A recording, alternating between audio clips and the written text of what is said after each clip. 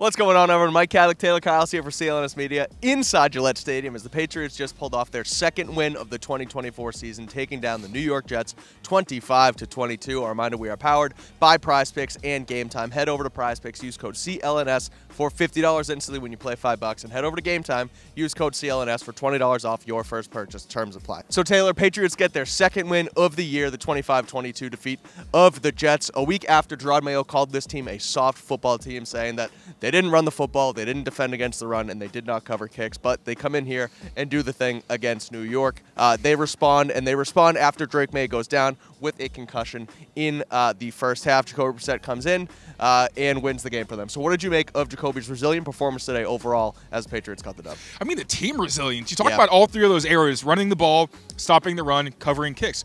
They failed in all of those areas at some point in the game. Now, it wasn't consistent. I think they did a good job bouncing back. Like yeah. the run game, Jerod Mayo mentioned, basically it's like a boxer. Like you're just punching and getting those body blows in.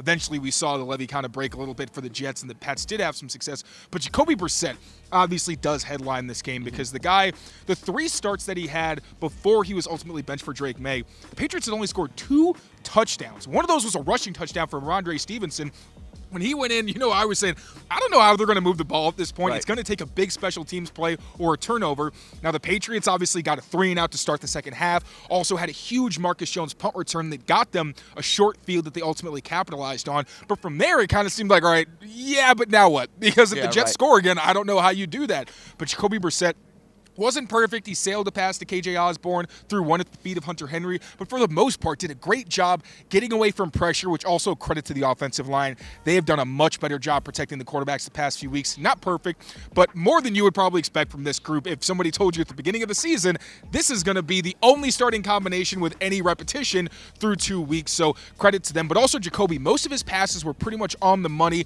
I know of the one pass to Kayshon Boutte where it was short, but that was because Jacoby Brissett got laid out. Yeah. was hit as he let the ball go, which affected the throw ultimately. And also the resilience from his receivers. There was a lot of drops today for Five New England. drops from the receivers. Two from Kayshon Boutte, uh, two from Kendrick Bourne, and one from uh, Tyquan Thornton. But like you said, resilience from them too. Uh, a long reception from Tyquan Thornton on the touchdown drive, and then obviously the long one from Kayshon Boutte mm-hmm. as well. Yeah, so key players from those wide receivers, and Jacoby Brissett mentioned the team rallied around him, and he always believed in himself. He alluded to the fact that he knows we didn't really believe in him, which, to be fair, you know, when you're comparing yourself to Drake Maye, that's not really fair when you talk about outside opinions, but it really, really was awesome because Jacoby was not put in a great position this year. We know about the pressure that he had to face. Obviously, not great receiving talent.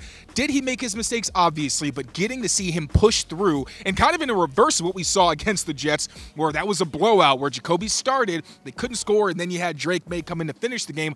Obviously, Drake Maye leaves due to unfortunate circumstances, yeah. but Jacoby Brissett getting to rewrite his own story, come in and get this win against the Jets, and basically put a very big damper on their season, just extra sweet. Yeah, of course. The New York Jets, not a good football team as we saw today. Aaron Rodgers out here trying to get that rapport back with Davante Adams. Christian Gonzalez shuts him down. Uh, so we'll see what happens with the Patriots moving forward. They head to Tennessee next week in Nashville. Uh, we'll see if Drake Maye can come back. Going to be tough for him. To clear concussion protocol before they leave next weekend. Keep it locked in here on Patriots Press Pass. Rate, review, subscribe to the channel, like the video, and read all of our written work over at clnsmedia.com.